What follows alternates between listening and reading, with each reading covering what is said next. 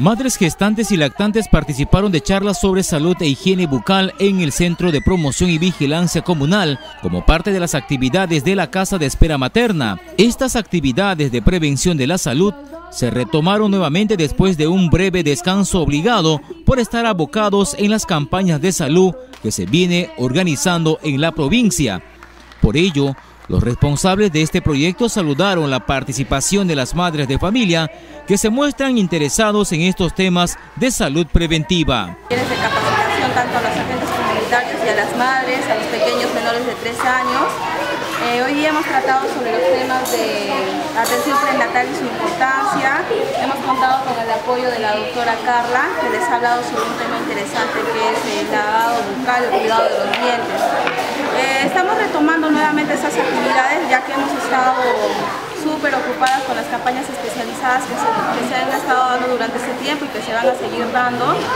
Precisamente también vamos trabajando en eso. Es la licenciada Cine, que es la coordinadora, ha estado a cargo de todo eso, de las campañas especializadas, que mañana están partiendo para Oventelli.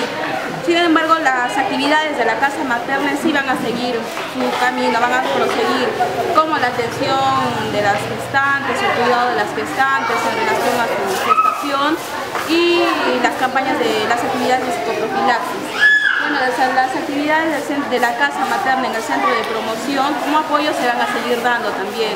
La ponencia en esta ocasión estuvo a cargo de la médico odontóloga Carla Florian Vargas del Centro de Salud Atalaya, quien dio a conocer sobre la importancia de la salud bucal en el recién nacido, así como en la madre gestante. Por ello es recomendable hacerse sus chequeos cuatro veces al mes o en sus controles que realizan diariamente en los establecimientos de salud. Es importante porque tenemos que comenzar a educar a las madres para hacer prevención, porque si no nos llegan al consultorio con caries muy avanzadas y que no nos queda otra aquí, como no hay mucho material, extraer los dientes y perder piezas.